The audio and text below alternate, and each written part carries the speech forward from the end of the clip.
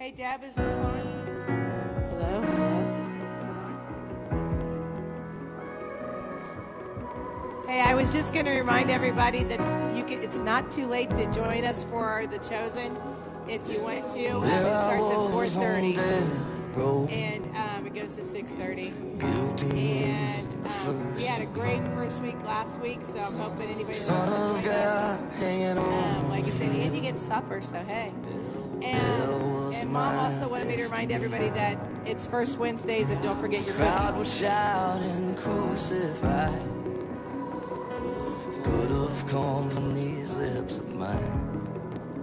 Dirty shame is killing me.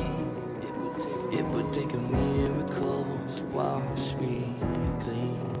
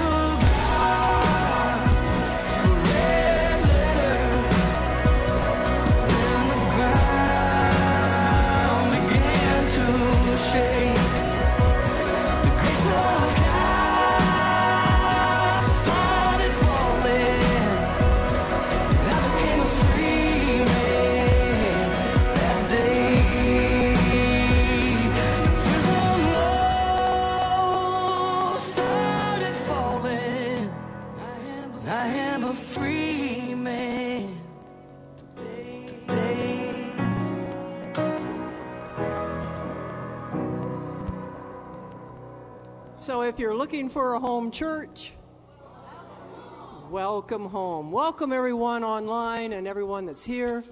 And uh, we pray that everyone is safe that couldn't make it today. Um, we had some earlier announcements. If you weren't here, um, Deb reminded people that the Chosen Bible, store, Bible study is tonight at 4:30, and also that First Wednesdays is this Wednesday. Uh, so Martha always puts a plug in for cookies. I always wonder, does she eat some of those? No, I'm just kidding. anyway, so okay. Well, if you're able, please stand and join us in our gathering song, I Am New.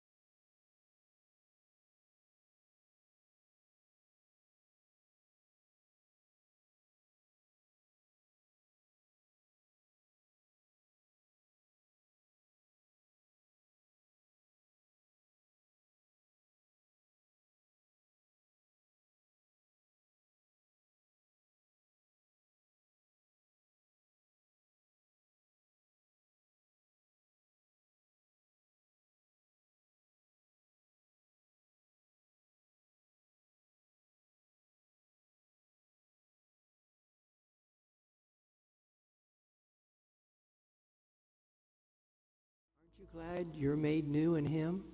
Mm. Amen. Please remain standing for our morning hymn, Alas, and Did My Savior Bleed?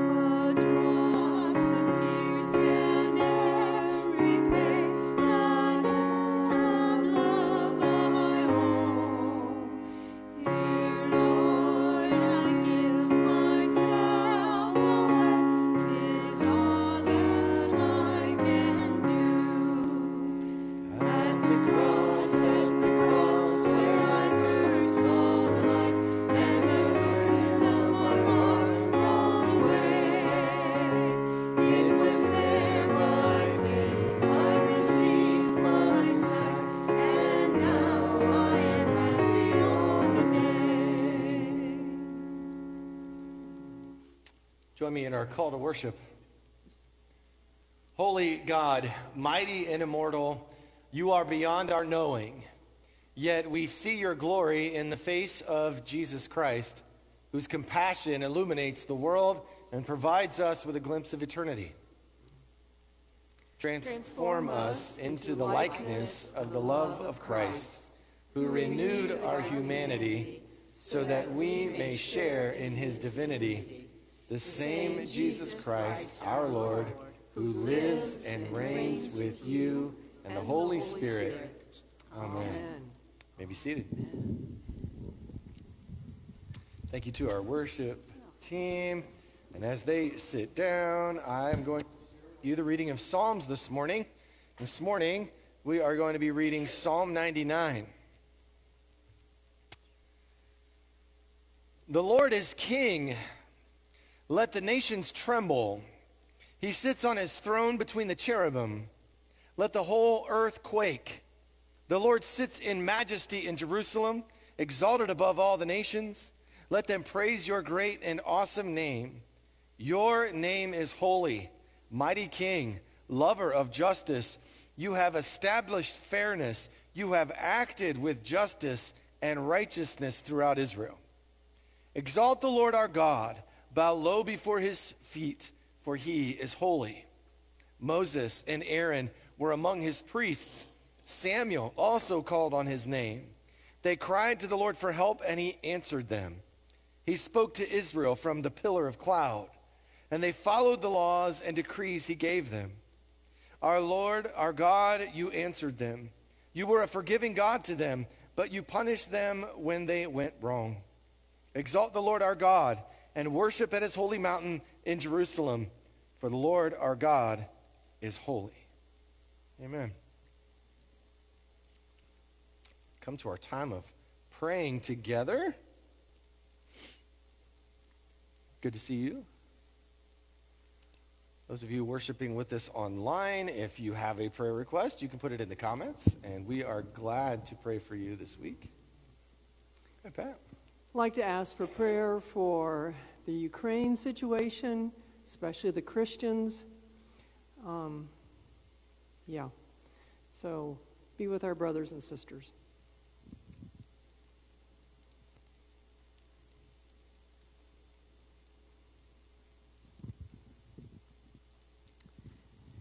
Last night, excuse me, last night, uh, Anissa's husband had a birthday party for Marion's Piazza in, in Troy. She looks really good, but she, she's not taking any more, um, yeah, what is it? Mm-hmm. Treatment because it's not doing her any good and it was making her sick really bad.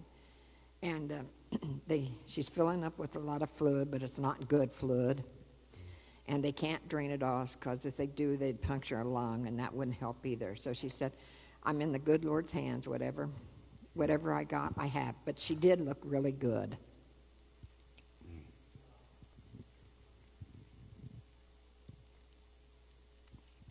Lisa caught me before we started, so that way she didn't have to say it out loud. Um, just wanted to thank everybody for their prayers for Randy. Uh, CAT scan and results were good. Um, and the birth of another grandchild uh, Tuesday, Emmett Asher, 8 pounds, 13 ounces on Tuesday. How about that? So Emmett was a 222 22 baby, wasn't he? oh, wow. I never even thought of twins. Who said that? That's so wrong. Wish that on somebody. Um, two people I'd, I'd, like for you to pray for. One is Ray Quay. He's a friend of Orvin mine, and he, um, he's in the hospital. And um, also remember Todd Harbor. Uh, he's going through chemo now and has to be there just about every day. Well, radiation and then follow up with chemo. But um, there's a lot of running back and forth, and uh, just keep him in your prayers and the family.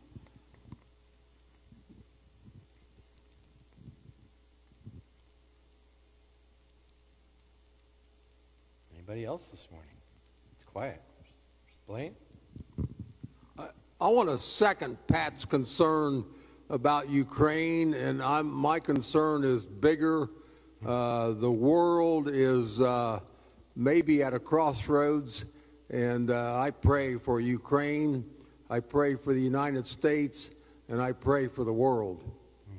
Amen to that. I'm struggling with the end game. Because usually there's a clear purpose. I don't see one. I'm trying to understand. Our son Mark's best friend, Brian Filippini, was flying a small plane this week and it crashed, and he and another man were killed. So Mark is devastated and actually went out to the crash site, which was about 30 miles from where he lives. Oh, so I'd like prayers for Brian and the other man and everyone that loves them.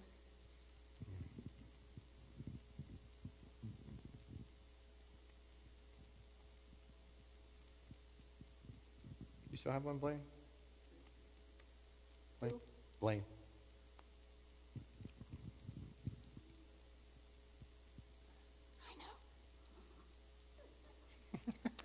I want prayers for all the missionaries, Christian missionaries all over the world that are sacrificing and giving their lives for Jesus.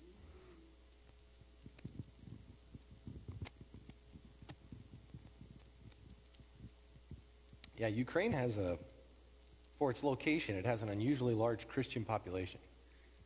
And a lot of that is due to missionaries.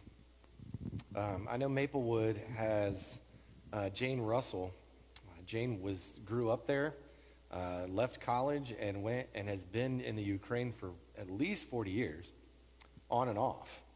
Um, and uh, so she's been a missionary right there. Her husband and uh, her and her husband just got married. Um, they've been they were trying to get back in, but there was no allowance back in, and now they may not ever get back in. uh, I'd like prayers for Barb. Uh, she's still suffering. Her her pain is better, but the strength in her leg is so weak that uh, after we seen the one doctor this week, a week from tomorrow we go down and see the surgeon and see what he has to say.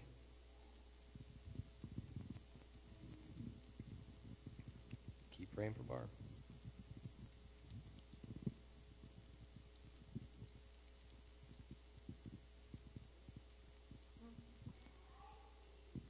Like to ask for continued recovery for my nephew in law, Patrick Stifler. Um, he had neck surgery. They fused a couple vertebrae. He's been in a lot of pain for several years, so they're in hopes that that will give him relief.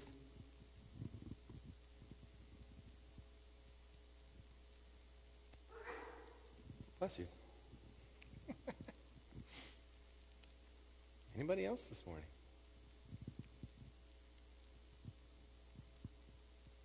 Let's go to the Lord in prayer this morning.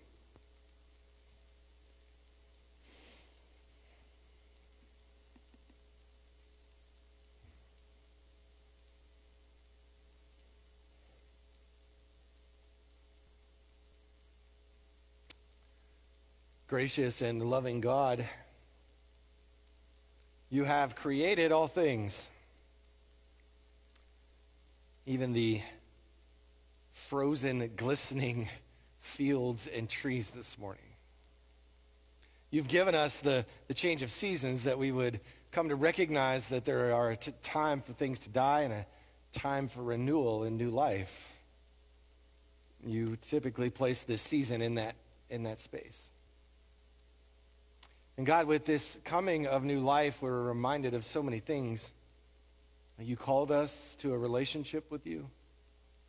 You called us to be adopted heirs, sons and daughters, because of Jesus. It is your son Jesus that gives us hope. It is your son Jesus and his work on the cross that makes it possible for us to have a relationship with you in which we get to talk with you speak with you, ask of you. And this is where we are. This morning, you've been listening to us. You've heard our voices, the ones out loud, and even the ones that we think are not out loud. You've heard us as we asked for your healing for Anissa and that treatment is no longer doing its job and that she may be faced with what comes. And God, we pray that you would continue to um, allow her peace and comfort as she transitions basically from this life to the next one. And God, we know that you are with Todd and his coming radiation and chemotherapy after that. And we pray for your healing and for your help. Pray for Mark's friend and their, his family in the passing, and especially even for Mark, in their grief, in their hurt, and in their disbelief. Provide in them uh, loved ones who will strengthen and comfort them. You've heard us as we continue to ask for prayers for Barb. Your daughter is in pain, and even though the pain's better, the strength is now gone, and the hurt continues. We pray for Patrick and his neck and vertebrae and the fusing of those vertebrae and how this could hopefully possibly bring him some relief and some pain from pain.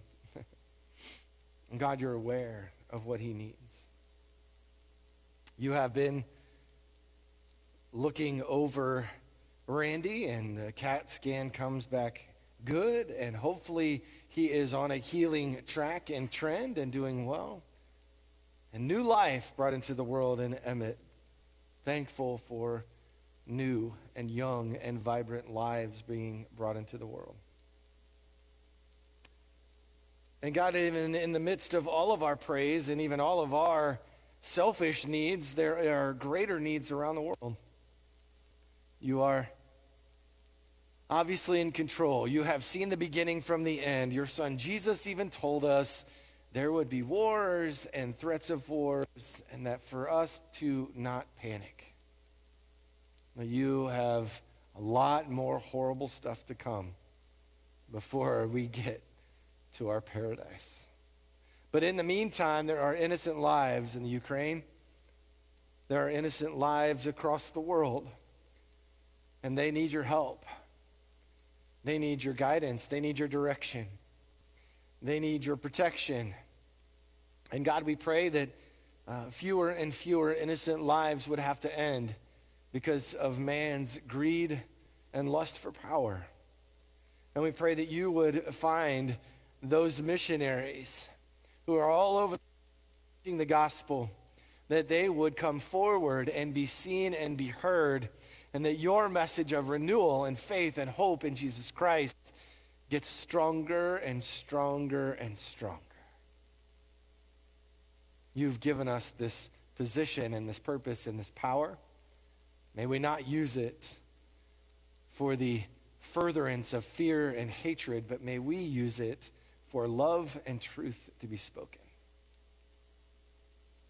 God, heal your land, reach your people, and may they hear the voice of your Son, Jesus, who laid down his life for them, that this life would be but a small, small blip, and that our eternity and our hope and our peace would be found in you, not in each of us, not in one another, not in money, not in things, only Jesus.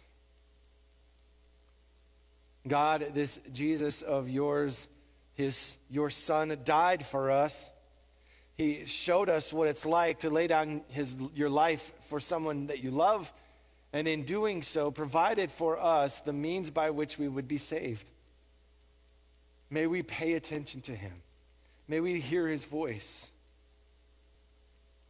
God, there's so many things that we could have asked for, so many additional things. And in this moment of silence, we want to address you directly one on one.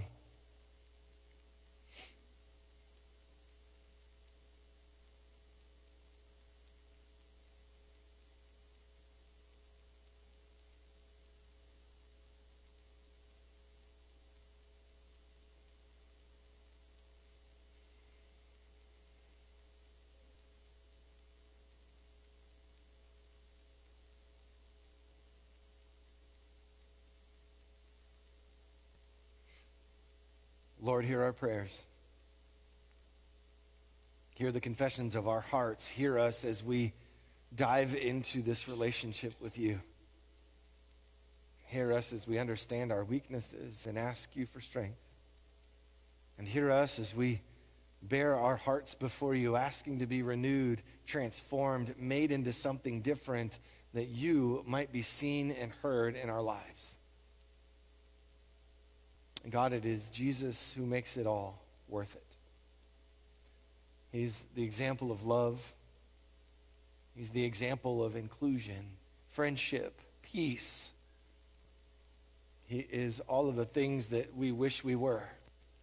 And hopefully, with his strength, we can become. It is this Jesus who taught us how we should pray to you. Our Father, who art in heaven, hallowed be thy name. Thy kingdom come, and thy will be done on earth as it is in heaven. Give us this day our daily bread, and forgive us of our trespasses, as we forgive those who trespass against us. And lead us not into temptation, but deliver us from evil. For thine is the kingdom, and the power, and the glory forever. Amen. This morning, I am going to be sharing with you a passage from Second Corinthians. We're going to be going from 312 to 42 because there's a little bit included. You're welcome to stand if you'd like to stand for the reading of Scripture. You can sit too, though, because he, he, you can still hear him when you're sitting down. It's okay. don't know why I don't do that. I can't read when it's up close with my glasses. Since this new way gives us such confidence, we can be very bold. We are not like Moses, who put a veil over his face so the people of Israel would not see the glory, even though it was destined to fade anyway. But the people's minds were hardened, and to this day, whenever the old covenant is being read, the same veil covers their minds so they cannot understand the truth. And this veil can be removed only by believing in Christ. Yes, even today, when they read Moses' writings, their hearts are covered with that veil and they do not understand. But whenever someone turns to the Lord, the veil is taken away. For the Lord is the Spirit, and wherever the Spirit of the Lord is, there is freedom. And so all of us have had that veil removed, can see and reflect the glory of the Lord. And the Lord, who is the Spirit, makes us more and more like him as we are changed into his glorious image. Therefore, since God, in his mercy, has given us this new way, we never give up. We reject all shameful deeds and underhanded methods.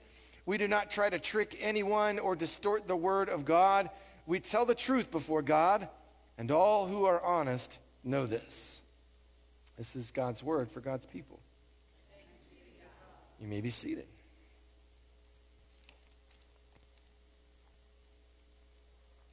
Well, how was your week? I see. Dark for some, right? I was talking uh, with Larry in the, the story was of Tuesday night. We had just left here, and I was headed up 24, and I see this big ball of flashing light in the sky. And I'm like, well, that was weird. And as I'm driving down 24, I then start to realize, wait a minute, there's no lights on out here.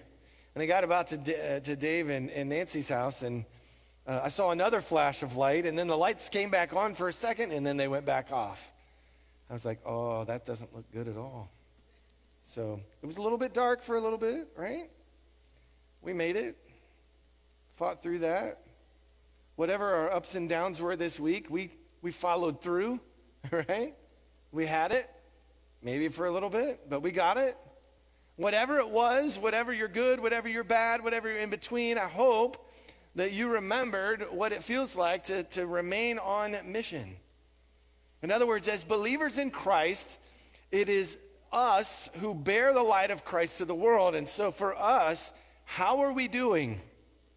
We can say, How was my worship this week? How was my reflection? What did my prayer life look like? Did I have time to study? How was I serving somebody else? That's how we know how we're doing. Right? I won't make the mistake I made earlier in saying September, but all of February, don't ask, it was, it was a strange morning. September, I have no idea where September came from. It just blurted out of my mouth. A long ways away from September right now, right? February so far, we spent most of the month learning and deciding and finding the power in the resurrection and what it means.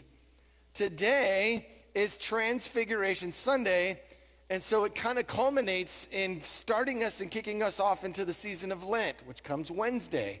So if you want an Ash Wednesday service, 6 o'clock in Maplewood, 7.30 here in DeGraff, right? You got options. That will kick off our season of Lent. We'll have 40 days, 47 if you count the Sundays, 40 days of reflecting and remembering and realizing the power in Jesus. So, why did I read Second Corinthians if we're talking about the Transfiguration Sunday today, right? Normally, I'm going to read to you from Luke 9, where Jesus takes Paul, or Paul, I read Paul. See, I'm doing it again. Jesus takes Peter, James, and John and he takes them up the mountain. He takes them up there to pray, and we see something happen that we forgot about, but we'll see it again later in the Garden of Gethsemane, and that is the, the, the disciples he took fell asleep. Didn't they? And so while they're asleep, Jesus has this incredible transfigurating moment where he becomes his soon to be image, his forever eternal image, and what appears to be, translated to uh, what they thought were Moses and Elijah, are there with him. Peter wakes up in the middle of this and thinks to himself, Oh my goodness, what am I witnessing? This is incredible. This is amazing. And I can imagine it kind of like in one of those scenarios where it, the, the character in the movie isn't really paying attention to what's happening and he kind of stumbles in and blurts out something.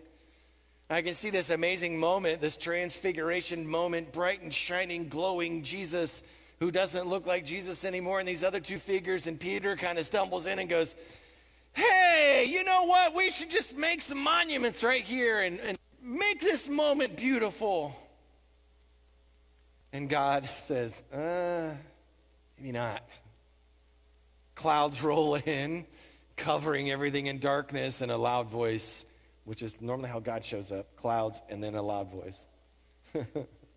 this is my son who I have chosen, right? So, why on earth would we go to Second Corinthians?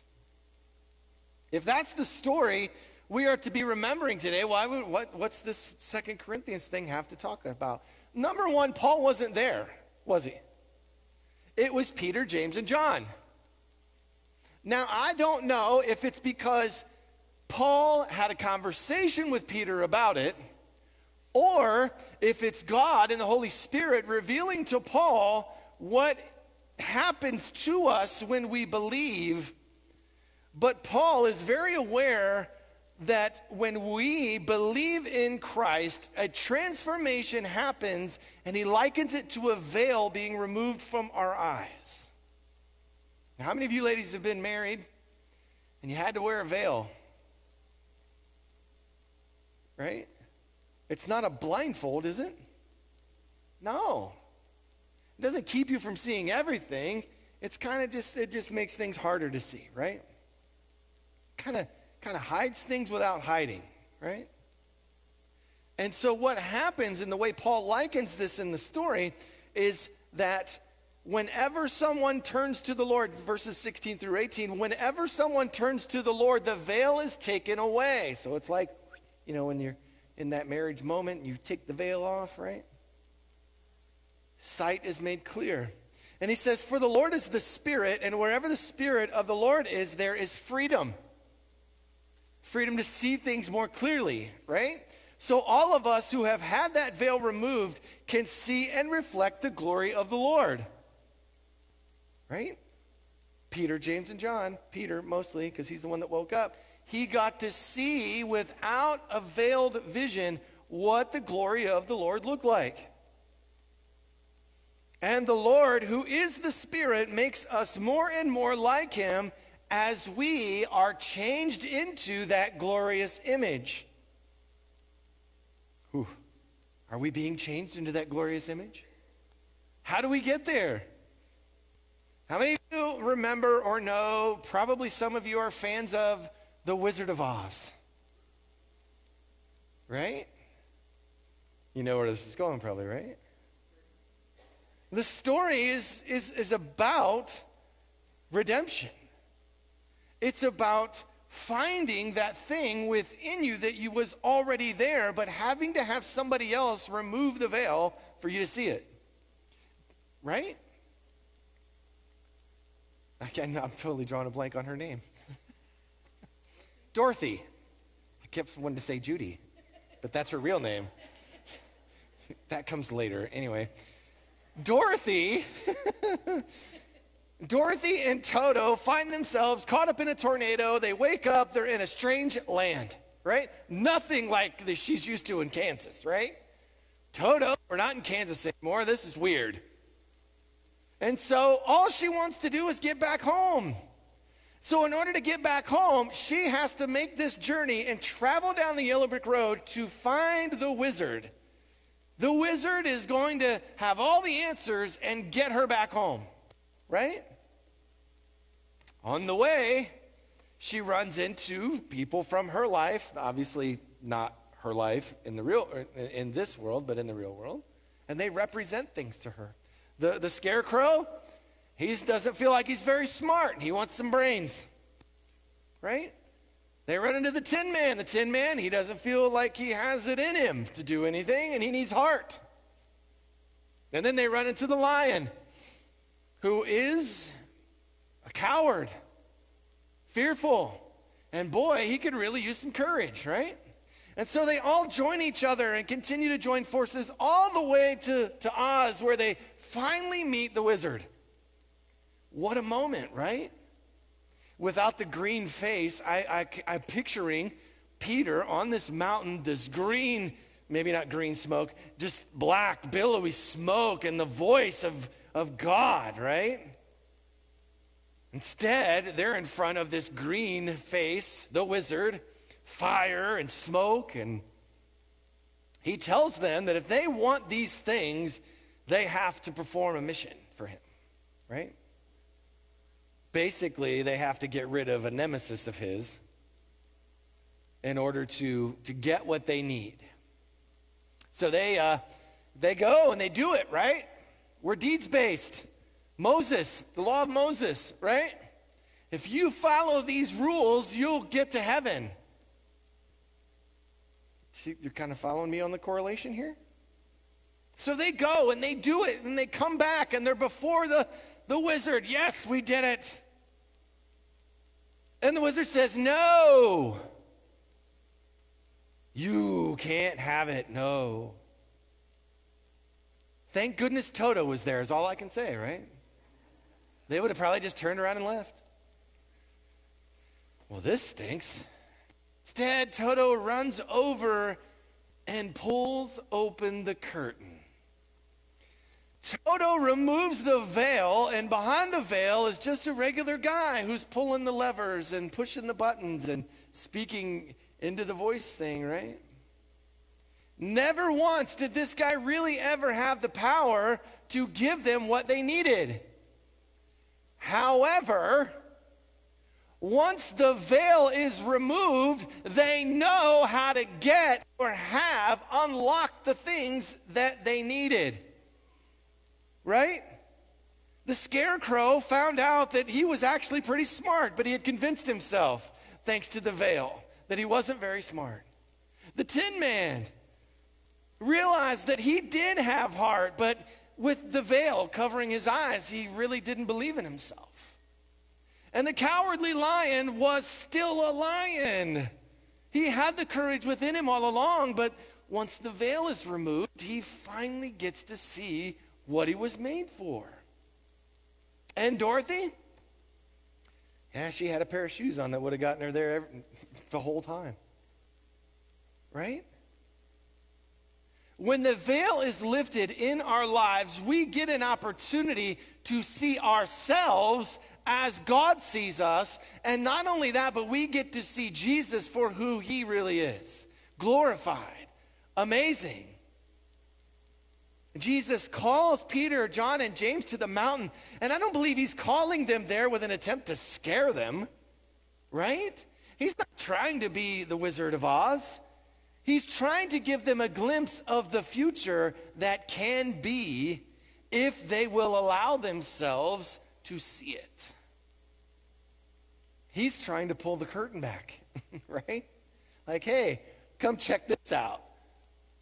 You think it's cool when I make the lame walk and the blind see? Wait till you see this. I find it interesting that this moment in which God speaks to Peter, this is my son, my chosen one, listen to him.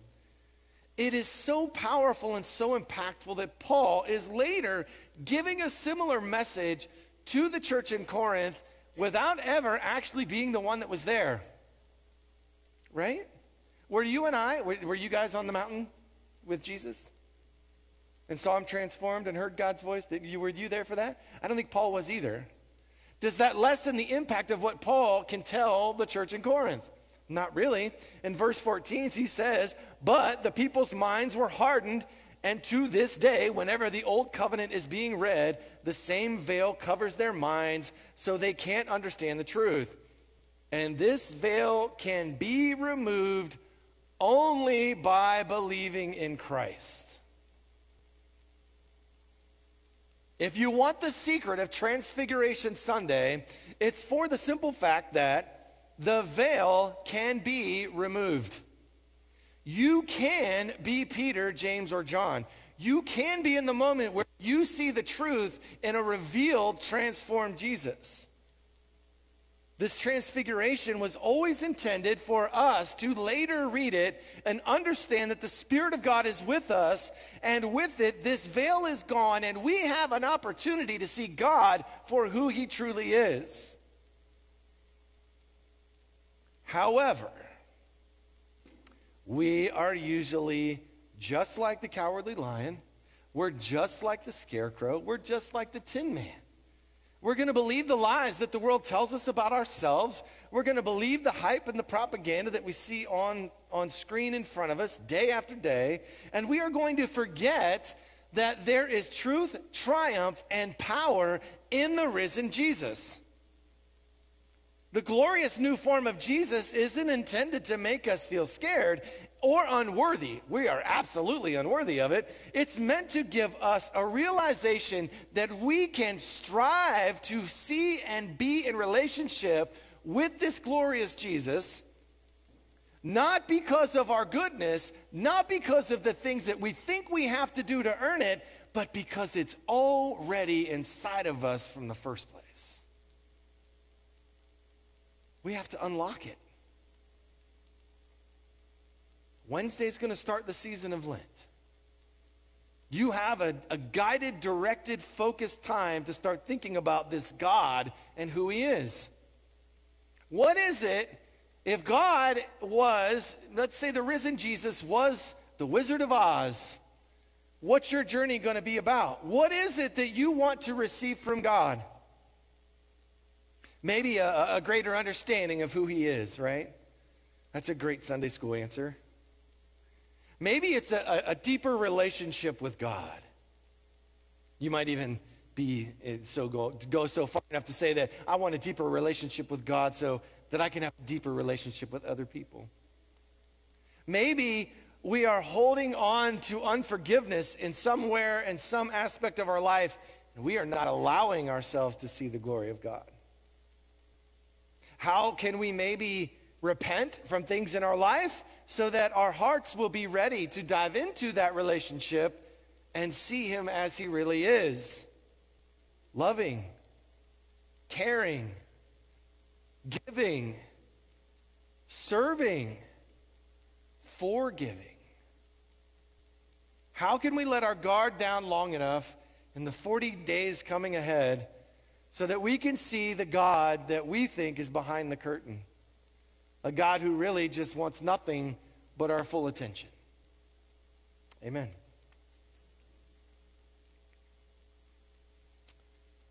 Join me in praying over our offering this morning. We still put it in the box. There's still PayPal you can reach on the website, however you want to do that. Even your time and your energy, those are all part of the offering, right? Father in heaven, our offering is more than uh, dropping money in a box. Our offering is what we do in response to hearing your word. And so, God, this morning we give back to you whatever we can our money, our time, our energy, our talents, and our gifts. We provide it back to you. It's already yours anyway. That you might take it, multiply it, and make it grow as you see fit so our community, the people that we love, will see you and know how much you love them. We pray this in the name of your Son, Jesus, who makes it possible with the strength and guidance of your Holy Spirit that's here with us now. Amen. If you are able to stand and join us today, we are going to close with the hymn Amazing Grace. And so I hope that this is part of your story and maybe where it begins.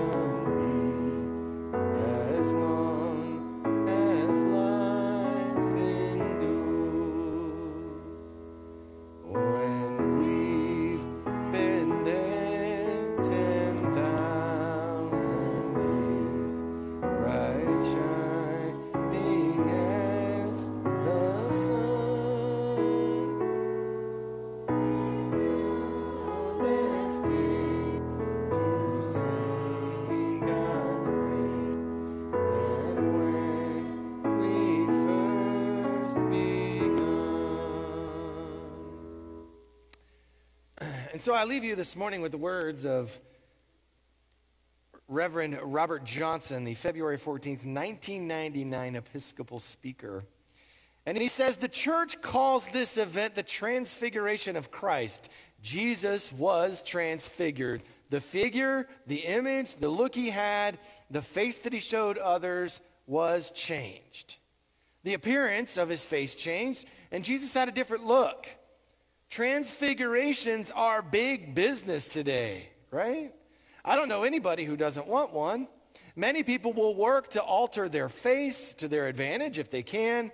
Sometimes, though, a change is not just in looks, but it's a whole image, including a name. Issur Danielovitch Demsky. Well, he didn't like that name, and he became Kirk Douglas. In the same way, Frances Gumm transfigured herself and her image into Judy Garland. Archibald Leach became Cary Grant. Aaron Chwatt became Red Buttons. And would you have paid money to see a movie uh, with Marion Morrison in it? But Marion didn't want to take that chance, and he became John Wayne. Long after Peter was in the presence of Jesus, he would fail time and time again. But Jesus, who always called him the rock, saw what no one else saw, and that's exactly what Peter became. What is it God is calling you to be transfigured into? Amen. Have a great and blessed week.